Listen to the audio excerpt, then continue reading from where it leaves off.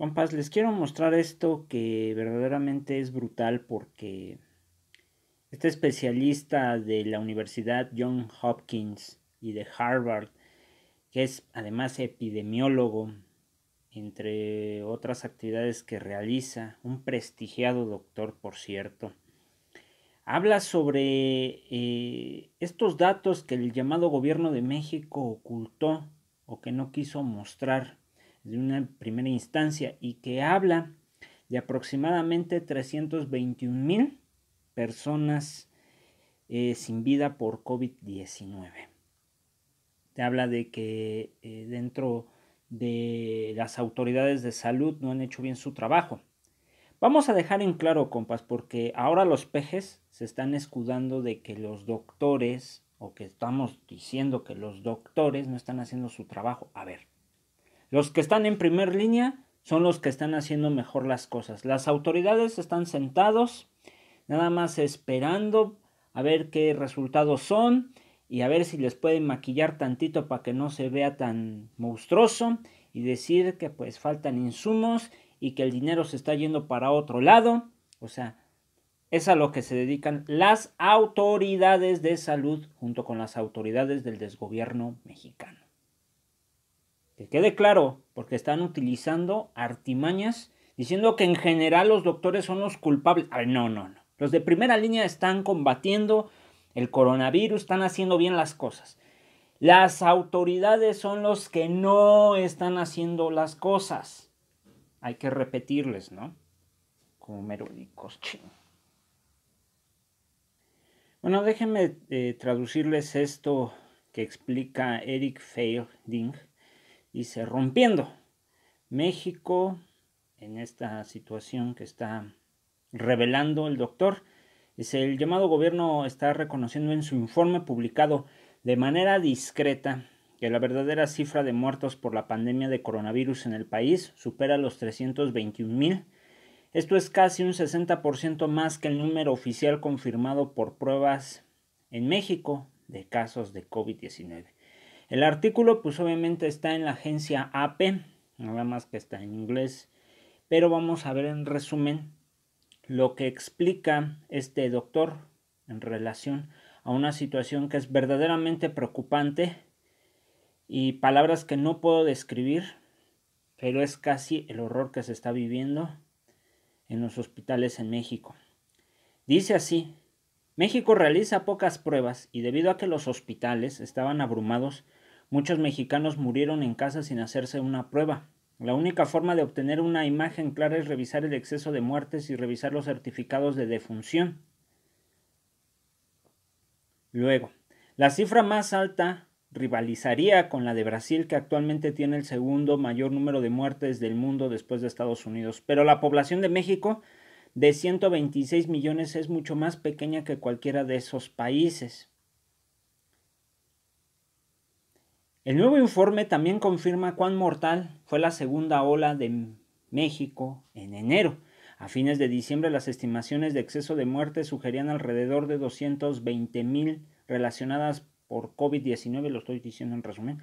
Ese número aumentó en alrededor de 75 mil en solo un mes y medio. Y luego, también fue sugerente el número total de muertes en exceso desde que comenzó la pandemia alrededor de 417 mil. El exceso de muertes se determina comparando las muertes en un año determinado con las que se esperarían según los datos de años anteriores. Este informe llega un mes después de que en México se reveló que el zar del coronavirus, así lo llama, López Gatel, había sido hospitalizado en secreto durante cinco días desde que el COVID-19 le había contagiado sin decírselo a nadie. Y esto lo reveló el 28 de febrero.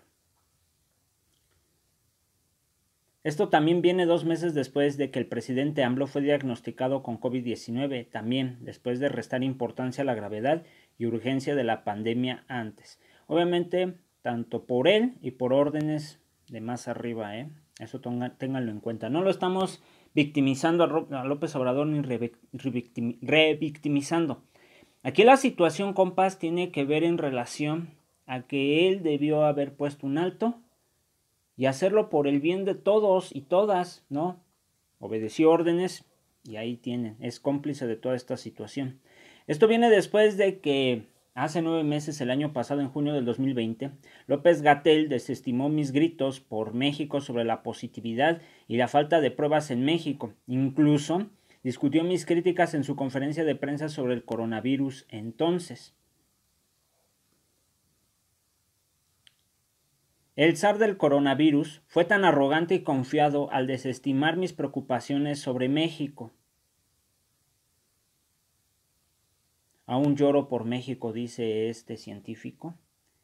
Para todos los que el año pasado se burlaron de mí y me despidieron por preocuparme por la alta positividad de México, ustedes tienen la sangre de muchos mexicanos por muertes de COVID en tus manos. Y se lo dice a Gatoel. La historia sabe quién eres. Y ahí está, como lo demuestra este científico. El expresidente Felipe Calderón escribió en su cuenta de Twitter el sábado que más de 400.000 mexicanos han muerto por encima del promedio de años anteriores, probablemente la cifra más alta del mundo. Me voy a detener aquí. Hay que explicarle al doctor ahí sí en una parte Ojalá, no creo que llegue el mensaje, pero para aclarar, a ver, este pendejo de Felipe Calderón también fue responsable de otras situaciones que ocurrió cuando también López Gatoel estuvo bajo la administración del sector salud. Recordar algo. Se prestó al juego de hacer un teatro por lo de la influencia porcina, porque lo hicieron de una manera no creíble y generó situaciones que ustedes supieron después, ¿no? La psicosis colectiva. Lo que sí es que estaba pasando, pero era curable, ese coronavirus. Al contrario de este, que este no es curable porque no existe una vacuna, es nuevo. El otro todavía tenía antecedentes. Ajá, bueno. Y que todo lo hicieron para darnos a tole con el dedo. Eso fue muy diferente participó, está participando en ambas cosas graves. Ahora, es un oportunista Felipe Calderón. Se está aprovechando para qué? Para llevar esta situación y ganar votos en las próximas elecciones. No se puede no puede buscar otra vez ser presidente de México, yo que tenga entendido. Pero sí buscar una diputación, favorecer a algún candidato como Canalla o cualquier otro para que siga él manteniéndose, porque es lo que él busca, seguirse manteniendo. ¿Sí? Él busca eh, utilizar esto para su beneficio, no para ayudar a los mexicanos, porque él jamás se ha preocupado por los mexicanos, ya que en sus manos lleva más de 60 mil muertos por dejar que grupos delictivos siguieran creciendo, como en Michoacán, en Jalisco, en Sinaloa, en Baja California, en Tamaulipas, en Veracruz, y hasta en el centro del país, ¿no? Bueno, es un oportunista y hay que decirle a este Eric Field, Fielding, que, ojo, no porque lo diga el expresidente sea razonable, ¿eh? Así que bueno, ahí dejamos esta situación, ¿va? No vamos a tomar en cuenta lo que dice el pendejo de Felipe Calderón, nada más sí leerlo, pero sí aclarar que él es un oportunista. Él no tendría que meterse en esto porque él nunca hizo nada por México cuando él estuvo como presidente, ¿verdad? Ok, aquí hay un resumen de lo que sucedió el año pasado cuando traté de advertir nunca me he encontrado, y lo dice aquí un Twitter llamado Zafamote, analiza el estúpido quisquilloso sobre la positividad en México que cada vez estaba claro que se encontraba en una crisis total. La multitud antialarmismo debería de estar avergonzada. ¿Sí? Porque los antialarmistas son Ricardo Salinas Pliego, Slim, entre otros, ¿no? Y aunque Slim dijera, ay, pues yo les voy a donar hospitales, él siguió trabajando en Telmex así como si no pasara nada, ¿no? Igual que Germán Larrea por parte del Grupo México y las mineras que siguen ahí trabajando, ¿verdad? Es el doctor Zafamote que demostró la situación que se vivían en varios países donde se estaban incrementando los casos. Todavía continúa. Ay, perdón, ¿eh, compas. Ahora. Espero que la gente escuche ahora las preocupaciones extremas sobre Brasil y esta variante del coronavirus. Hay una variante P1, de hecho, bueno. Seguimos. Eh, cuando veo estos horrendos números en Brasil, ahora estoy seguro que también haría lo mismo con México si tuviera la posibilidad de un brote del P1. Es una variación. ¿Qué tan locas fueron las muertes de México recientemente? Pues conozco varios eh, amigos en México que fueron tanto reinfectados como padres hospitalizados. Fíjense nomás. Por eso hay que cuidarnos con paz. Y es en serio que el registro histórico recuerde que los líderes mexicanos se negaron a hacer pruebas masivas y descartaron la necesidad de hacer muchas pruebas. Matt Rivers a través de CNN presentó este informe el año pasado cuando México tenía uno de 32 del volumen de pruebas per cápita. Fíjense, nomás es muy poco. O sea, nada más a una persona de, de 32 se hacía la prueba. Pero la falta de pruebas ha provocado críticas que la escasez de datos confirmados ha dejado al gobierno que, con el mejor de los casos, una visión incompleta de la gravedad del brote unas semanas antes de que el país comience a reabrirse, porque ya tiene intenciones, ¿eh?